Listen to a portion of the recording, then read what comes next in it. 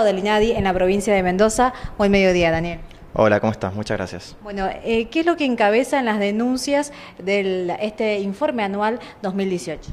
Bien, en este informe que estamos presentando hoy, 2018, eh, tenemos un aumento en las intervenciones y denuncias en el INADI de un 24%.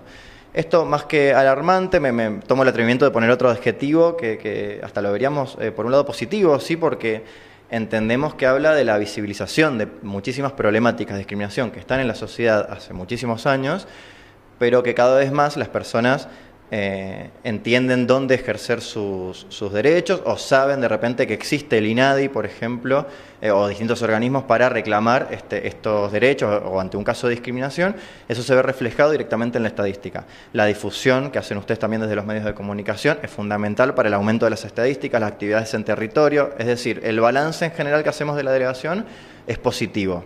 Este, dentro de este análisis, el principal ámbito donde se dieron los actos discriminatorios este año, o sea, el año pasado, fue el laboral con un 25%, retomando un primer lugar. El año pasado se encontraba segundo.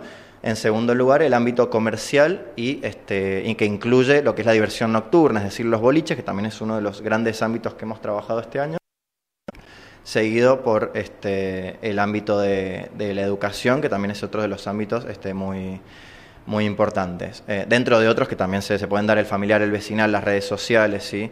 este, el ámbito de la administración pública también es otro de los grandes ámbitos donde se han recibido.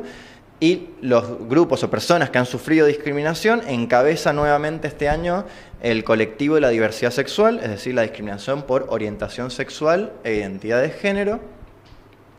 En un segundo lugar, eh, discapacidad, que, sí ha aumentado en proporción al año anterior, hoy se encuentra en un segundo lugar con aproximadamente un 15% de las, de las denuncias eh, y continúa en un tercer lugar la discriminación por nacionalidad.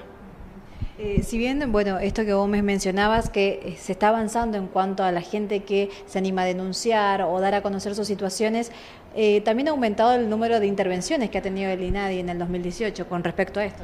Claro, intervenciones lo tenemos que entender como, eh, más allá del asesoramiento legal que brindamos desde la delegación, con conciliaciones o mediaciones que proponemos desde el INADI para llegar a algún tipo de, acuerdo, no monetario, pero un acuerdo eh, final entre las partes, o derivaciones que hacemos en organismos más competentes que nosotros, porque muchas veces hay casos de este, personas que asisten con alguna problemática, por ejemplo, hay una persona migrante o bien una persona este, eh, del colectivo de la diversidad sexual con un problema que tal vez no es en sí un acto discriminatorio, pero puede ser de otro tipo de índole o laboral que se lo canaliza o se lo deriva. Esas son las intervenciones que también sí han aumentado este, eh, de forma directa, no solo este año, sino bien en aumento en los años anteriores.